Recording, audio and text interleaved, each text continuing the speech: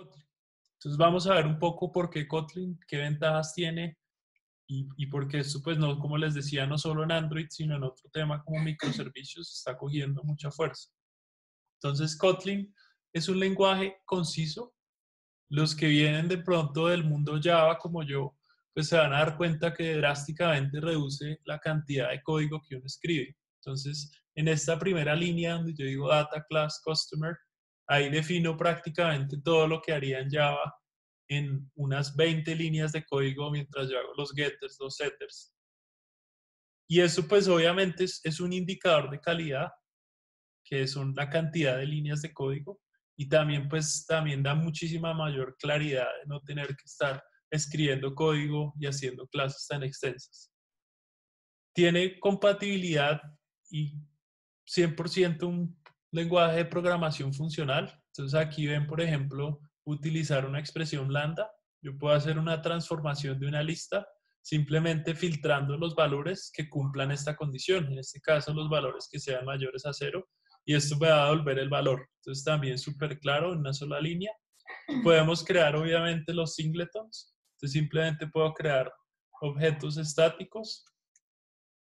Adicional a esto, es un lenguaje seguro. Entonces, uno de los grandes problemas con Java son los null pointer exceptions. Entonces, Kotlin resuelve esto y la forma en que lo resuelve, que ustedes van a ver y de pronto los que son nuevos en este lenguaje, es el signo de interrogación. Cuando yo declaro una variable, primero, para declarar variables tenemos dos palabras reservadas. Entonces yo puedo utilizar var, que sería una variable, y val, que sería un value que vendría siendo una constante, es decir, un valor que no va a ser modificado. Después, en la sintaxis le doy el nombre de esa variable, dos puntos, el tipo de la variable. Si le agrego la interrogación, quiere decir que el valor puede tomar nulo. Pero si no, como ven aquí en el ejemplo, pues yo, como no le definí el tipo con interrogación, pues a nivel de compilación me va a prevenir que yo le asigne nulo a ese valor, lo cual, pues como ustedes saben, va a prevenir un montón de errores. Y lo otro es el casteo de tipos. Entonces, si yo simplemente verifico si un objeto es de cierto tipo, yo directamente puedo ya ejecutar las operaciones sin tener que hacer transformaciones de un tipo de datos a otro. Y finalmente, pues es interoperable, que es para mí es la principal razón por la cual este lenguaje va a seguir creciendo, y es que tiene 100% compatibilidad con la máquina virtual de Java. Entonces, todas las librerías que han utilizado y que han escrito o que hayan utilizado en Java, pues las pueden utilizar 100% en Kotlin. Y además de esto, hay una compatibilidad que está creciendo con otros lenguajes. Entonces, ¿qué se puede hacer, por ejemplo, con Kotlin? Yo puedo crear un módulo de la parte lógica y lo puedo portar a otra plataforma como iOS. Kotlin, como ven, es un lenguaje súper limpio en sintaxis. Entonces aquí estamos viendo pues, los componentes mínimos que, digamos, uno utiliza en Java para el tema de programación orientada a objetos. Entonces aquí tenemos el tema de interfaz. Para los que no conocen el tema de programación o son nuevos, las interfaces es una forma de definir contratos, de definir comportamiento, donde yo simplemente defino un nombre y unas funciones definiendo lo que quiero que hagan.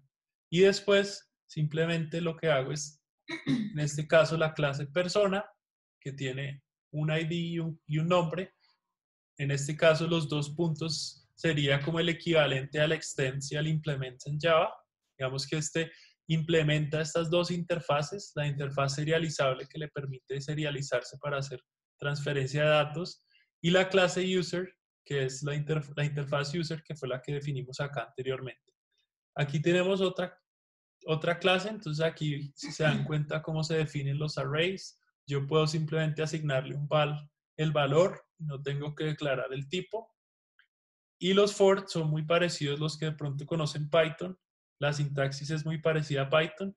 Y pues otra cosa que no sé si se dieron cuenta, pero Kotlin no lleva punto y comas al final de cada instrucción. Entonces eso lo hace también un poco más limpio. Listo, entonces miremos ahora sí el IDE para crear aplicaciones en Android. El IDE se llama Android Studio. Y el IDE es simplemente el nombre que se le da a la herramienta que se utiliza para crear software.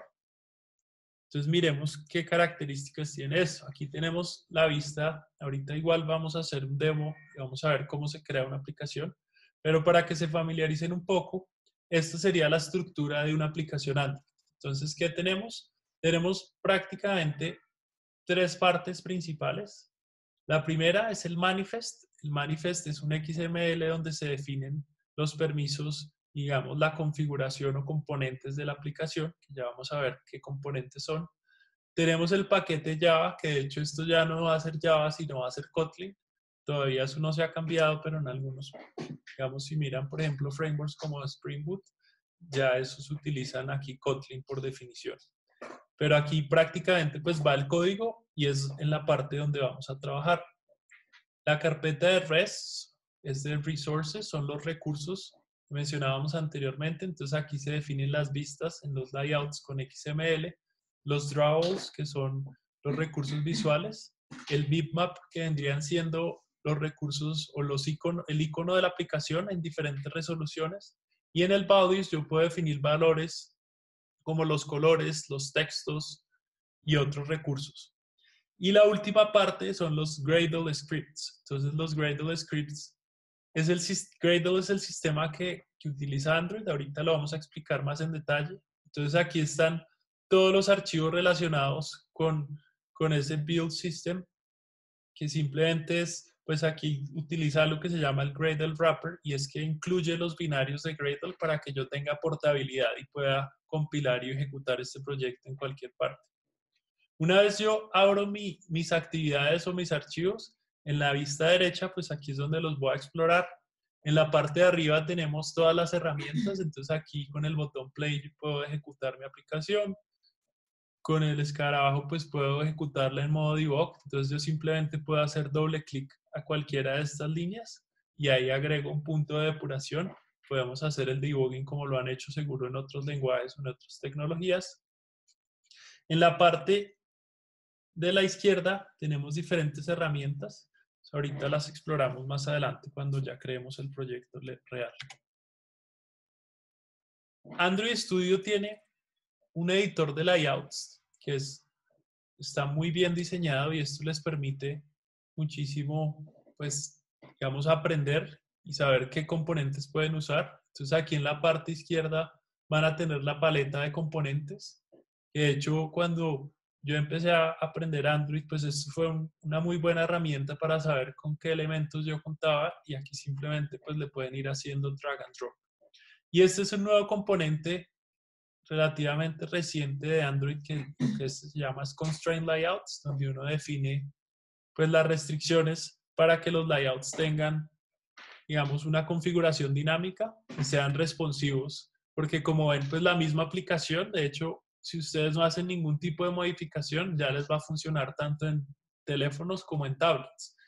Pero depende de este tipo de layouts y configuraciones dinámicas que ustedes utilicen para que sea responsiva o no. Y el mayor secreto ahí es jugar con estas dos propiedades que son obligatorias de cualquier vista, que es el layout width y el height. Y este width y height es el ancho y el alto de los componentes. Entonces, aquí yo puedo definir tres, tres valores. Está wrap content, que es simplemente el caso el que tenemos acá, que va a utilizar tanto espacio como necesite. En este caso, lo que hace es usar el espacio del texto button. Y si yo le pusiera el otro valor, que es fill parent, match parent, es lo que va a hacer, este va a expandir y va a ocupar tanto espacio como tenga. La otra parte que tenemos en el proyecto es Gradle. Entonces, Gradle, como les decía, es un sistema para automatización y para hacer la compilación y manejo de dependencias de Android. Esto por debajo utiliza Maven. De hecho, si se dan cuenta acá donde dice dependencias, pues estoy utilizando los artefactos de, Maven. Estos son repositorios que están en línea y los cuales yo incluyo dependencias. El archivo build.gradle tenemos dos en un proyecto. Está el de app y el de application. El de application prácticamente no lo vamos a modificar mucho porque con esto yo lo que puedo hacer es crear arquitecturas modulares donde tengo varios, como varias subaplicaciones y por medio de este lo que hago es pues digamos compilarlas y hacer dependencias dentro de ellas.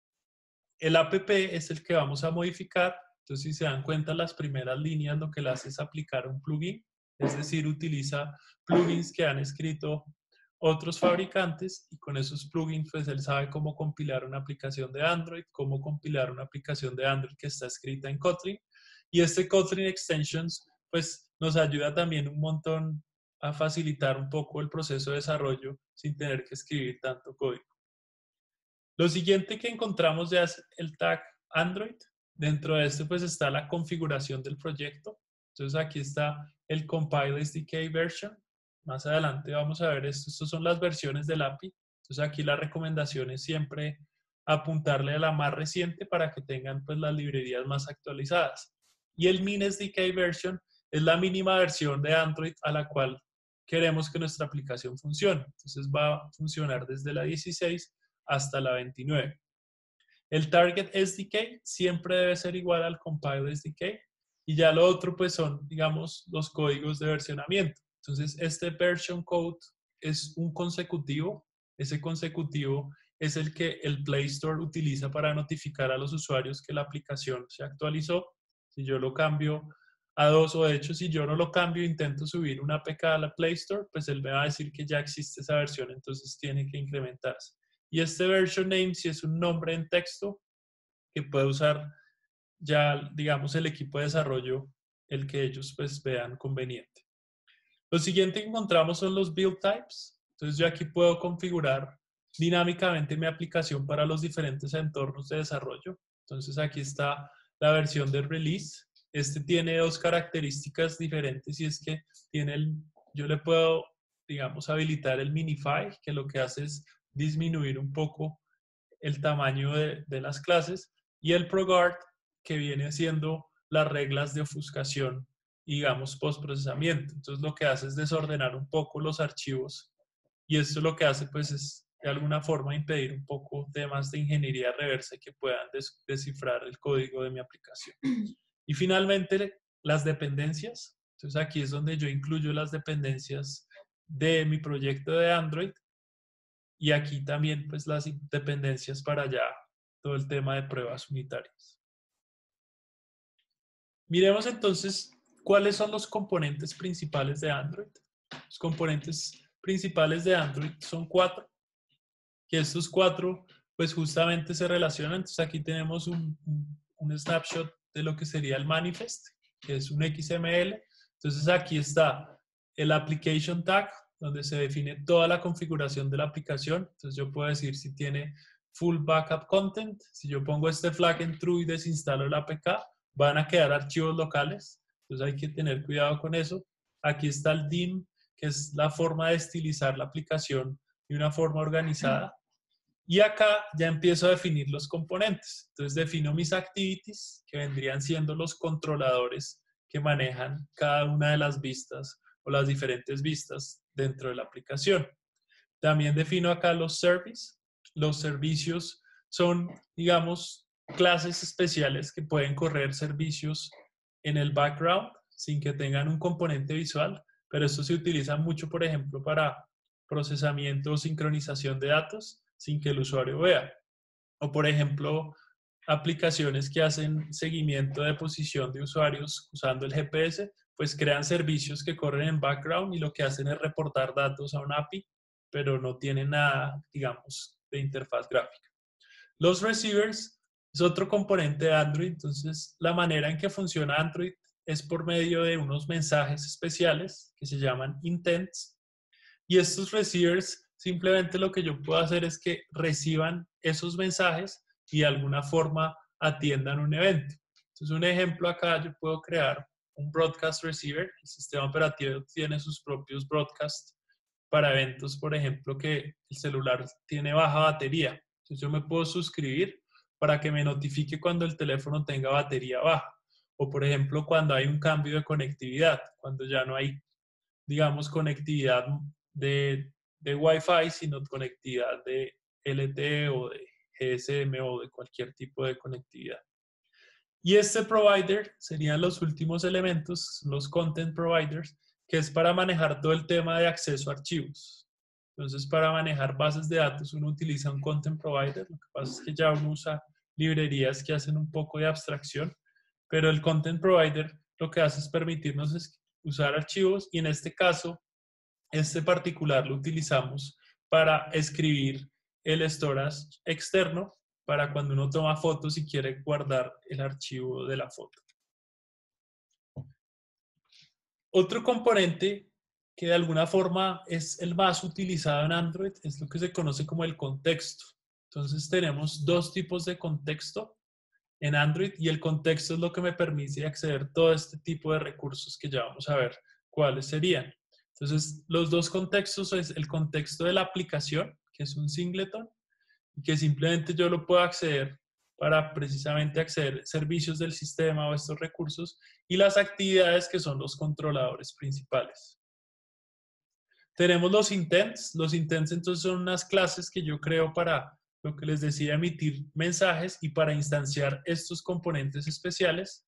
Todo se hace por medio de intents. Los intents tienen dos tipos. Están los intents implícitos, que simplemente yo le puedo decir, quiero que haga esta acción, por ejemplo, haga una llamada con esta aplicación, o quiero que abra una ubicación en mapas, pero que utilice Waze. Entonces yo ahí hago algo implícito. Y el explícito, yo simplemente le digo, que inicie algún tipo de servicio y él me puede mostrar un mensaje o no, que sería, por ejemplo, acá, yo seguro les, les ha parecido este tipo de diálogo, que ustedes van a compartir un texto, pero entonces les pregunta al usuario por qué aplicación quieren compartir el texto. Entonces, este sería un ejemplo de un intent explícito. Yo le digo la acción del intent, que se llama send, esa es una acción definida del sistema operativo, le envío el extra, el extra es el texto que va a compartir, el tipo de texto, esto podría ser también una imagen o otro formato, y aquí ya le digo Start Activity, que es un método que extienden todos los, los contextos, en este caso la clase Activity, le envío el intent y el de una va a mostrar este mensaje al usuario. Para iniciar una actividad, que sería, por ejemplo, algo que muchas aplicaciones seguramente van a tener que pasar de una pantalla a otra. Entonces ahí lo que yo hago es iniciar una actividad. Lo mismo, entonces creo un intent. Este intent necesita como primer parámetro el contexto, que sería this en el caso que estemos dentro del contexto de la actividad. Y el segundo va a ser la clase de, de la, digamos, la actividad como tal. Esto también es algo muy de Kotlin, en, Java, pues simplemente uno le daba el nombre del archivo .class. En Kotlin uno hace dos puntos, dos puntos, class.java. Y ahí ya le da start intent.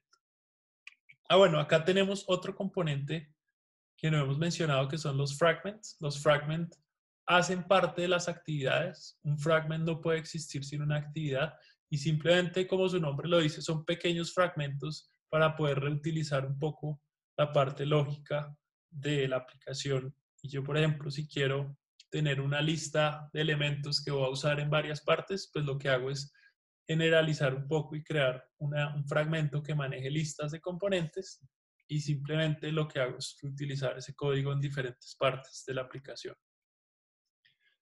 El otro componente que les decía es el servicio. Entonces, lo mismo, ¿cómo inicializo un servicio? Creo un intent, le envío el contexto, le envío la clase él ya crea el intent como tal y le digo Start Service. Dentro de este intent, yo podría también utilizar lo que se llama el bundle y podría enviar datos directamente a cada uno de estos componentes, que es la forma que seguro pues van a tener que enviar datos de alguna parte de la aplicación a otra. Entonces se puede hacer por medio del intent también. Y lo otro es registrar un broadcast receiver. Entonces aquí está el ejemplo que les decía. Aquí yo creo un receiver, que es una clase que implementa el broadcast receiver. Y esta clase simplemente le digo que tenga un intent filter, que lo que haga es connectivity action. Entonces le digo que agregue la acción cuando haya un cambio a modo avión y le digo que registre el receiver. Entonces la clase receiver va a tener un método que implementa que son receive, que cuando este evento ocurra, pues él va a ejecutar el código que esté dentro de ese método. Y el manifest, como les decía anteriormente, es el archivo más importante y el metadatos de, la aplicación. Entonces aquí también yo debería definir los permisos. Entonces si mi aplicación se va a conectar a Internet, tengo que ponerle Android Permission Internet. Aquí están los intent filters. Estos intent filters es justamente cómo las actividades saben qué mensajes atender y qué no. Por medio de las acciones, yo puedo decir si esta actividad, por ejemplo, puede hacer llamadas, si esta actividad puede recibir mensajes, puede recibir texto. Entonces ahí lo que se utiliza son los intent filters. Miremos entonces uno de los mayores, si no el mayor reto de Android, que es la fragmentación. cuando uno crea aplicaciones para Android, a diferencia de otras plataformas como iOS, que simplemente habrá máximo 6, 7 versiones de, de iPhones en diferentes pantallas, pues en Android es otro cuento. Entonces, esto es una infografía. Entonces, aquí tenemos dos tipos de fragmentación.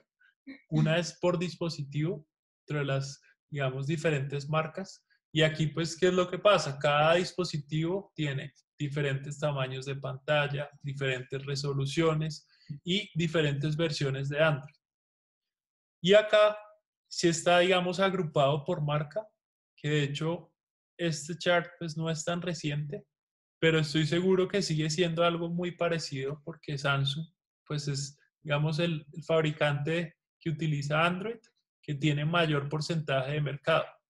Pero como les decía, pues ellos lo que hicieron fue personalizar un poco, porque como el código es abierto, y ponerle su propia capa de aplicaciones y con su propio diseño. Entonces, la recomendación es que sí o sí, si ustedes quieren salir a producción, pues conseguirse un dispositivo Samsung y probarlo, porque me ha pasado en casos que mi aplicación funciona perfecto y la corro en un dispositivo Samsung y no funciona, sobre todo dispositivos viejos que de pronto ellos hicieron algunos cambios funcionalidades, digamos, core. Entonces ahí la recomendación pues es siempre probar en dispositivos reales y utilizar los que tienen pues gran porcentaje de mercado. El otro tipo de fragmentación que les decía son los sabores de Android. Entonces aquí esto casi que cada seis meses están sacando una nueva versión y lo que hacen es incrementar pues, el, el nivel del API. Esto pues le han puesto por convención nombres de postres. Aquí ni siquiera está, este no está actualizado, pero ya están la nueva con la versión número 29 y ellos tienen un porcentaje de mercado. Entonces aquí a la final lo que uno tiene que apostarle es pues primero mirar a qué países yo quiero sacar mi aplicación. Digamos que el mercado de Latinoamérica pues sí tenemos obviamente un mayor porcentaje de dispositivos que no tienen la última versión de Android. Entonces, lo ideal sería que le, apuntaran a que su aplicación funcionara desde la versión 15 y de ahí en adelante. Y ahí eso pues les daría más o menos como un 98%. Igual ahorita cuando creemos la aplicación, pues van a ver que el mismo IDE les muestra el porcentaje una vez empiezan a crear su proyecto. Y lo otro que les decía son los tamaños de pantallas. Entonces, cuando ustedes ven la carpeta de resources o de recursos, van a ver que van a encontrar carpetas con los sufijos XX HTTP, que esto es resolución pues extra alta, esto es baja resolución, media, esto es digamos para televisores, esta es definición alta. Y lo mismo los tamaños de las pantallas. Entonces hay unos que ellos categorizan como small. Si ustedes miran la documentación, ahí les dice específicamente cuáles son los rangos de, de las pantallas que entran como small, los extra large y los large. Entonces ahí, ¿cómo hace uno para enfrentar esa fragmentación y crear una aplicación que funcione para todos los dispositivos? Y la receta o el secreto está en lo que se llama recursos dinámicos.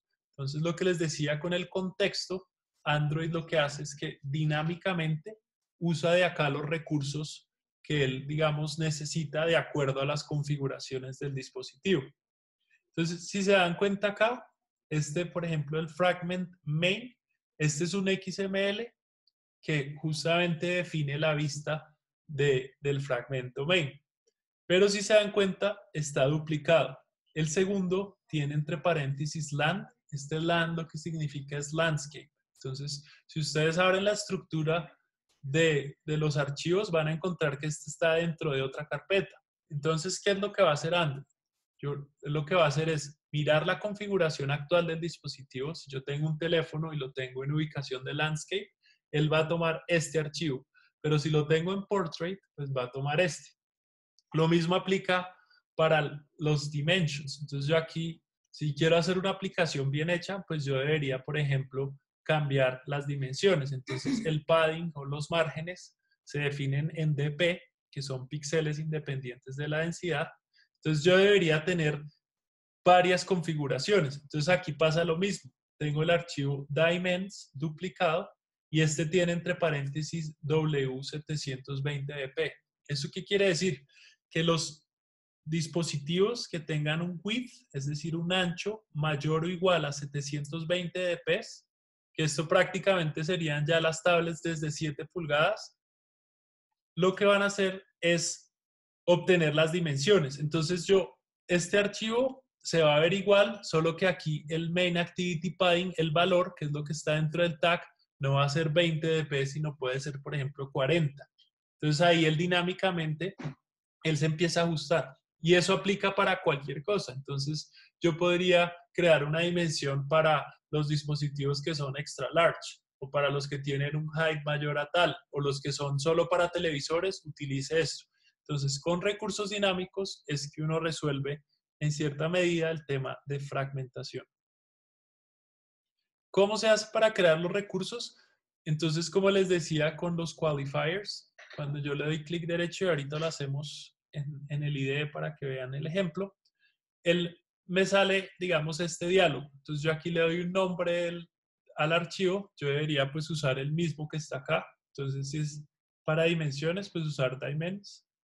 Y ya lo, después lo que le hago es agregar digamos, un qualifier en caso que lo necesito. Entonces, por ejemplo, para el caso de tener un layout para landscape y otro para portrait, yo escojo el qualifier de orientation. Lo agrego acá y ahí me salen los valores. Ahorita miramos el ejemplo para que vean las posibilidades. Y lo mismo para el tema de hacer aplicaciones multidioma. Entonces, ¿cómo funciona?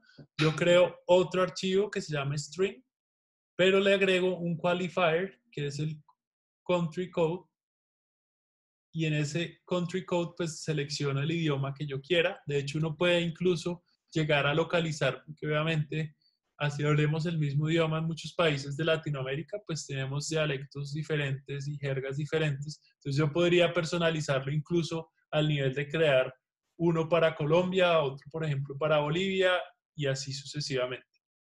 Entonces cuando ustedes crean este archivo, él les va a crear digamos, les va a colocar el icono con la banderita y les va a colocar aquí el sufijo es, pues ya el país, dependiendo de lo que hayan creado. Y lo que yo hago es simplemente duplico.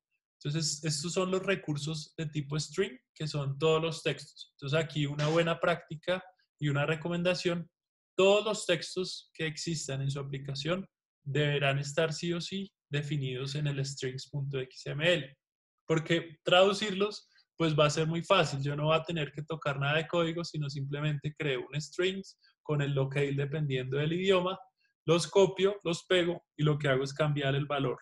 Digamos, la llave es la misma, cambio el valor y él automáticamente, sin que yo haga nada, él va a mirar qué idioma está configurado el dispositivo y va a sacar de acá los recursos y las traducciones.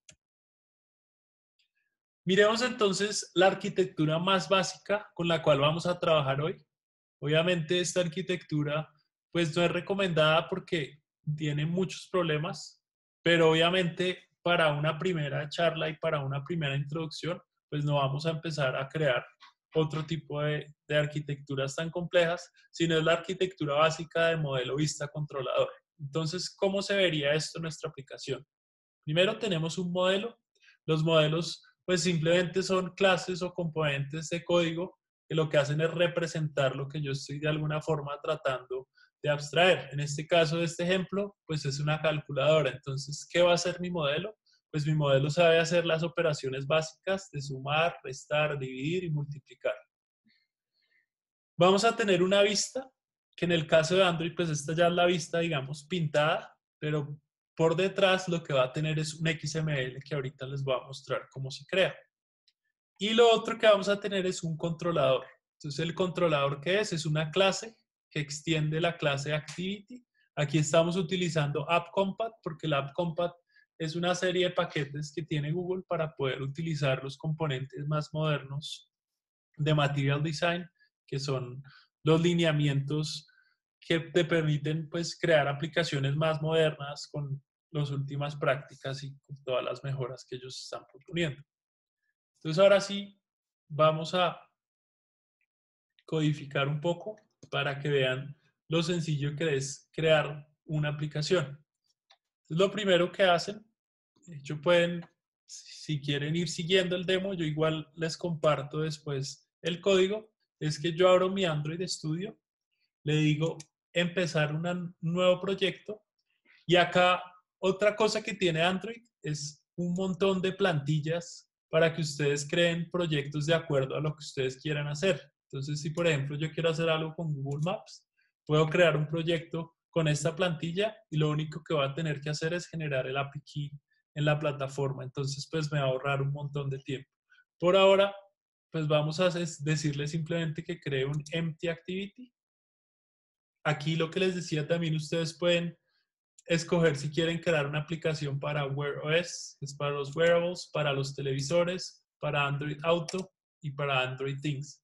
Digamos que estos tienen unas características diferentes. Por ejemplo, Android Things es, hagan de cuenta, un Raspberry Pi, que es un computador pequeño con sensores, entonces, pues aquí uno va a tener que manejar, interactuar con los sensores, entonces él carga otro tipo de componentes. Por ahora vamos a trabajar solo con teléfonos y tablets.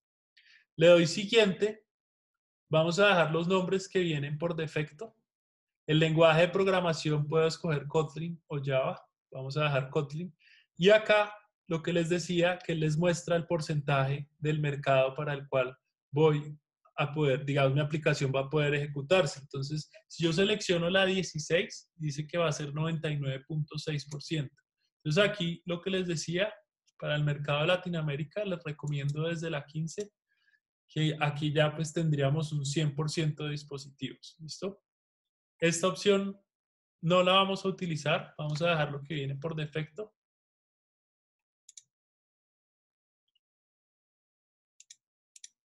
Le damos entonces la 15 y le damos finalizar. Entonces ahí él ya me genera todo el proyecto. Entonces vamos ahora sí a revisar un poco la estructura que les mostré ahorita en la presentación. Entonces lo primero que tenemos acá es la vista de proyecto. Yo aquí damos los archivos o las secciones donde prácticamente voy a trabajar.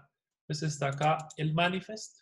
Entonces aquí en el manifest está, como les decía, la información de la aplicación. Entonces, si yo, por ejemplo, quiero que mi aplicación se conecte a Internet, entonces ya le digo acá, uses permission. Y aquí le coloco el permiso de Internet. Bueno, aquí está compilando, entonces no me hace las sugerencias.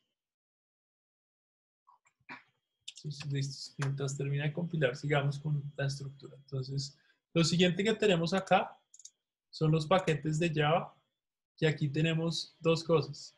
Entonces está el main, bueno, son tres cosas, porque está el Android test, esos son los tests de instrumentación, es decir, donde yo puedo instanciar los componentes de Android, como son las actividades, puedo hacer pruebas de la interfaz de usuario. Están los tests, que son los tests unitarios, donde yo debería probar mis componentes. Y la tercera parte, que es donde vamos a trabajar hoy, por ahora no vamos a hacer nada de test, es el application, digamos, el por defecto. Entonces aquí estarían ya mis, mis archivos de Kotlin, donde directamente yo pues, empezaría a colocar mi código. Lo siguiente que tenemos es la carpeta de res de resources. Entonces aquí están, por ejemplo, los drawables. Estos drawables, este sería el icono de la aplicación. Yo puedo definir, por ejemplo, un background con un XML. Los layouts, que son las vistas. Entonces ahora sí miremos el editor del layout que les decía. Entonces aquí en la parte izquierda yo tengo mi paleta de componentes. Entonces están los comunes, texto, botones. Entonces vamos a hacer algo muy sencillo y es vamos a colocar un texto de tipo edit text que me capture un valor y ese valor lo que vamos a hacer es reemplazarlo en otro componente. Entonces aquí estoy utilizando un layout que se llama constraint layout, que tiene justamente los constraints, son como restricciones que yo le pongo de acuerdo a los componentes. Entonces yo aquí las defino de acuerdo a los espacios del, layout. Entonces este lo, lo voy a centrar y vamos a agregar también un botón. Y este botón lo que vamos a hacer es que lo vamos a centrar aquí en este espacio. Y le vamos a poner los constraints de lado y lado. Aquí en esta vista, ¿qué otras cosas pues tenemos que nos puedan interesar? Está la vista acá de atributos. Entonces yo aquí, digamos que yo la verdad ya trabajo directamente del XML, entonces este se puede cambiar aquí en la parte superior derecha. Tiene tres tipos de vistas. Esta es la vista de diseño, que es la que les recomiendo si están empezando con Android, porque aquí pues van a poder hacerlo de una forma mucho más intuitiva y drag and drop. Está la vista dividida, donde yo puedo directamente editar el XML. Entonces aquí yo puedo empezar a cambiar las propiedades, que esto era lo que les quería mostrar porque estas propiedades, pues yo ya me sé algunas que, que son las que necesito. Por ejemplo, yo aquí podría decirle a este texto, quiero que el color del texto sea el color accent, que es el que está definido aquí. En, esta es la paleta de colores. Vamos a definir un color que sea negro. Simplemente le decimos FFF. A ver si sería 000. Y vamos a utilizar este color. Entonces yo aquí le digo que utilice el color negro. Y el otro atributo, por ejemplo, le podría cambiar el tamaño del texto. Entonces, para los textos se utilizan SPs y para las dimensiones se utilizan DPs. Los SPs son Scalable Pixels, es una convención que ellos tienen. Entonces, si van a definir tamaños de texto, simplemente lo hacen acá. Y acá hay, digamos, una cosa importante que es de prestarle atención y son las alertas que me hace el IDE. Entonces aquí me está diciendo que este texto está hardcodeado o quemado. Entonces yo aquí puedo utilizar las herramientas de asistencia. Le doy Alt Enter, le digo que extraiga un recurso de strings, le doy el nombre y le digo OK. Entonces ya lo estoy accediendo de la forma que es. Si ustedes sostienen Command o Control y le dan clic, los va a llevar al archivo donde se deberían definir los recursos. Entonces lo mismo aplica para este le digo que extraiga este recurso y listo. El otro atributo que es súper importante es el ID. Entonces, a través de este ID es que yo puedo hacer el binding. De hecho, ya como estamos usando Kotlin, yo no tengo que hacer binding, sino yo directamente con este ID lo puedo acceder desde mi controlador. Entonces, a través de este es que yo puedo pues definir la interacción de los componentes. Entonces, vamos a, a cambiarle este Vamos a ponerle los mismos atributos a este campo y vamos a ponerle un margen de 20 dp. Vamos a de 50 en la parte inferior. Y este para que queden un poco separados le ponemos un margen en la parte superior. Listo, ahí ya, digamos que ahí uno empieza a ajustar y a jugar con sus layouts como les digo, si no se saben las propiedades, pues pueden directamente desde el editor acá empezar a modificarlas. Entonces seleccionan el componente y aquí les salen pues todos los colores. De hecho, aquí ustedes si quieren pueden agregarle otro tipo de fuente. Si quieren utilizar, por ejemplo, la fuente robot y digamos, bueno, otro tipo de configuraciones. Entonces, esto es lo que vendría siendo la vista. Continuamos entonces con el proyecto. Este map son los iconos de la aplicación. Estos iconos con una nueva herramienta que tiene Android Studio los pueden crear fácilmente, que se llama Resources Manager. Entonces es este tab que está en esta parte. Entonces le dan acá, aquí pueden crear todos los iconos para su aplicación. Entonces si quieren sobreescribir el icono por defecto, le dan acá, le dan nuevo Image Asset y aquí dejan el de Launcher Icons. Aquí ustedes pueden decirle con una imagen si quieren usar una imagen propia, pero por ahora pues vamos a usar un clip art. Podemos dejar este que está por defecto. Ustedes le pueden cambiar el background, simplemente colocándole el color que quieran. Y bueno, ya ustedes pueden después jugar con esto y personalizarlo. Aquí también le pueden cambiar, por ejemplo, el color al icono.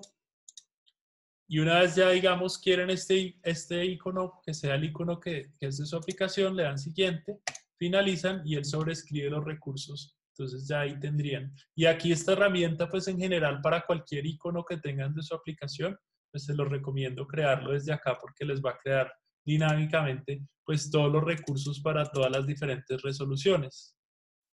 Lo siguiente que tenemos serían los values, que de hecho ya vimos dos de estos, el de los colores y el de los strings, que serían los textos.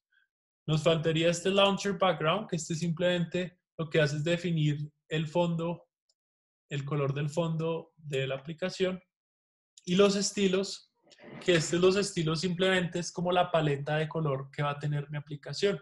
Entonces la idea es que todos los estilos y los componentes pues los definan acá. Entonces si ustedes tienen un botón pues podrían agregarlo acá directamente. De hecho el IDE pues les ayuda un montón que si ustedes quieren extraer un poco como las características de un componente lo pueden hacer desde acá directamente. Entonces miremos un ejemplo. Yo puedo decirle a este edit text como yo quiero extraer estos atributos, yo le puedo decir clic derecho, le digo refactor, extract y le digo style. Entonces aquí le digo qué atributos quiero que me extraigan el estilo. Entonces vamos a dejarle solo el tipo de input, el color y el texto. Y esto se va a llamar, no sé, le podemos poner black edit text y le digo OK. Entonces él ya le va a cambiar el atributo por estilo y aquí en, el archivo de estilos que estábamos, pues él definió un estilo con estas características. Entonces si ustedes tienen un botón que tiene ciertos márgenes, cierto color, pues ustedes pueden extraer ese comportamiento y empezar a generar un poco su paleta de colores y sus estilos. Y ya lo, lo último que faltaría serían los Gradle scripts. Entonces aquí está el Gradle wrapper que ese Gradle wrapper, como les digo, son los binarios para que se pueda correr Gradle. Y el que vamos a utilizar por ahora es este, que es el app. Entonces aquí ya tenemos todas las dependencias que él nos cargó por defecto. Pero si ustedes quisieran, por ejemplo, usar Retrofit o incluir otra librería para hacer, por ejemplo, consumir un API, pues cuando entren a la documentación les va a salir el paquete y el artefacto que tienen que utilizar. Entonces simplemente lo copian, lo pegan acá y él sincroniza, incluye los archivos. Entonces miremos ahora sí, pues primero voy a correr esta aplicación, correrla. Yo ya previamente tenía creado un emulador. Bueno, ahorita me corrió en una tablet, entonces voy a cambiar esto.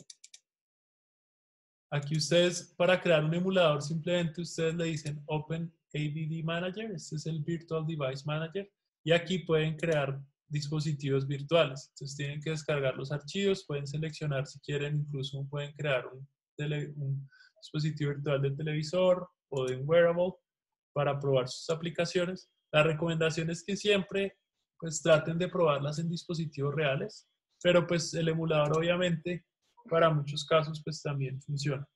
Entonces vamos a correrla en este emulador que tengo acá y vamos a ver lo que tenemos hasta ahora. Entonces tenemos esta etiqueta que dice Hello World, tenemos el botón que no hace nada y este Edit Text. Entonces vamos ahora sí a agregar un poquito de comportamiento a nuestra aplicación. Entonces esta es la clase actividad que vendría siendo nuestro controlador. Entonces el controlador se le hace el binding, se conecta con la vista con el método setContentView en el onCreate y acá yo puedo navegar directamente y van a ver que es este componente.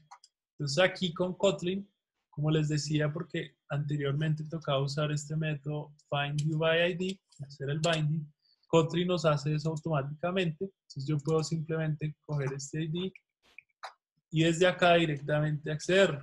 Entonces aquí él lo importa y se dan cuenta el import. Lo que hace es el synthetic del, aquí deben pues mirar que coincida con el layout. Y lo que hago es decirle a este componente set on click listener y aquí pues nuevamente la magia de Kotlin, que yo no tengo que decir crear un objeto interno y una clase, sino simplemente creo un lambda y dentro de estas líneas pues va a ser lo que se va a ejecutar. Aquí la buena práctica es pues crear otra función para que no quede este método main on create tan largo. Yo le digo create function, define aquí la función y acá de hecho yo también para verificar que sí es el layout, porque a veces tenemos nombres iguales en, en diferentes layouts, pues yo puedo navegar también acá para verificar que efectivamente es el componente que quiero. Entonces, lo que vamos a hacer acá es simplemente obtener el valor que está en este edit text. Entonces lo accedo nuevamente con el ID. Entonces aquí le digo edit text punto text punto to string y lo puedo seleccionar y lo almaceno en una variable que ahorita puedo llamar text. Y lo siguiente que voy a hacer es que voy a setear este valor que el usuario escribió en el otro componente, que es un componente de TextView. Entonces el TextView es simplemente un texto que yo no puedo cambiar, pero obviamente pues le puedo cambiar su valor. Yo no lo puedo, digamos, editar desde la interfaz del usuario. Entonces le digo textview.text y asigno este text. Y vamos a verificar que efectivamente funcione nuestra aplicación. Entonces ahí ya está compilando está instalando, entonces vamos a escribir acá. Escribo un texto, le doy clic al botón y si se dieron cuenta aquí, pues ya lo reemplazo. Entonces, esto es básicamente el demo que les iba a mostrar. Eh, digamos que aquí básicamente, pues no estamos todavía creando un modelo. Si yo quisiera crear un modelo, pues yo podría crear acá otro Kotlin file que se llame model y este model, aquí yo tendría mi lógica de negocio, entonces sería class model y definiría un comportamiento a través de funciones. Y este modelo, si quisiéramos tener la arquitectura que hablamos inicialmente, pues yo lo que haría simplemente es instanciarlo acá. Entonces yo le digo val model equals model y aquí ya tengo una instancia de mi modelo. Entonces, Idealmente este modelo pues debería tener toda la parte lógica de la aplicación. En este caso pues como es un ejemplo, no tendríamos nada de capa lógica.